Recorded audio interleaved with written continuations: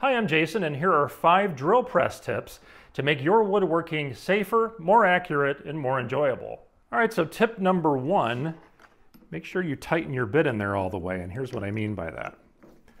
So I hand tighten the chuck, and I make sure that it's seated straight up and down in the jaws of the chuck.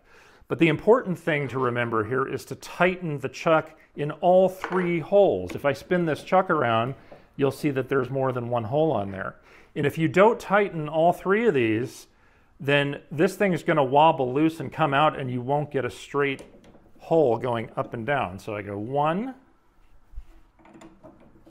two, and it'll get tighter each time. And then on the third one, I really snug it. And that's it. Tip number two has to do with the fence on my drill press's auxiliary table. It's very handy, but sometimes I can't get it back far enough depending on where I want to drill the hole. So I could certainly replace it with a piece of wood and a couple of clamps, but what I find easier and more convenient is one of these clamping straight edges. It's got a movable head on the clamp. You just slide it to where you need. So in this case, I can put it all the way at the back of the table, move this head, and then pull down on this lever and clamp it exactly where I need it. And if I need to micro adjust it for some reason, I could just use my mallet and just give it a couple of taps wherever I need to to fine tune that fence. Works great. Tip number three has to do with the way that I like to make large mortises, which is to rough out the mortise using a Forstner bit and I make a series of overlapping holes at the depth that I need, and then I clean up the waste with a chisel. So this method works great, but there's a, a, something you should be aware of. I always like to make sure that I've got about 3 eighths of an inch or about a half an inch between each hole. And the reason for that is these Forstner bits have a spur on the end. And if I try to put the spur of that bit on a thin sliver of wood here, it's either going to blow out this wood and not have a place to purchase, or that bit is going to wander sort of at a diagonal, throwing off your cut. It's not the end of the world, but you're going to feel this thing jerk and shake all over the place. So for tip number four, sometimes I want to drill a hole with a Forstner bit and I want to go all the way through a thick piece of wood.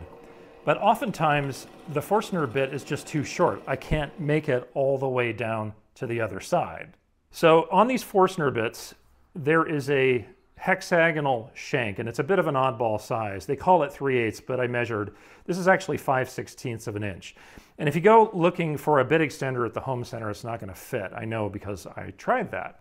So I went to the local woodcraft store. They actually sell a bit extender that's made specifically for these bits. And you can get them at Rockler too or some other specialty woodworking suppliers.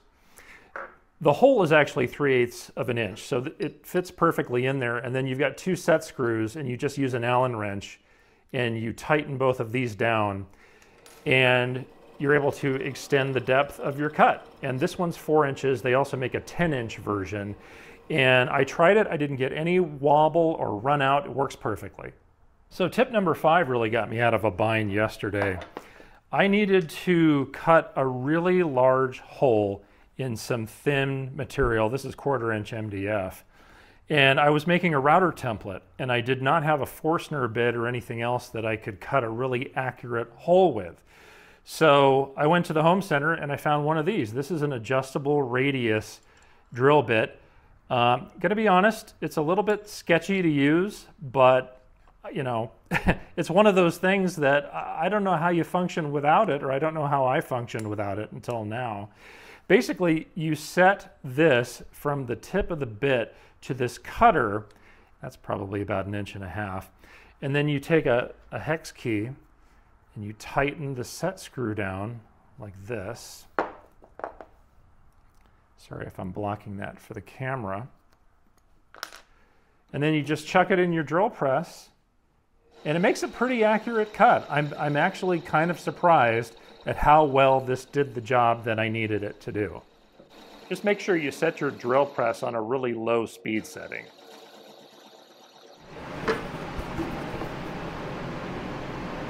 So there you go, five drill press tips for woodworking. Hopefully these helped you out, and I'll leave some links in the descriptions below for some of the things you saw here. We'll see you soon.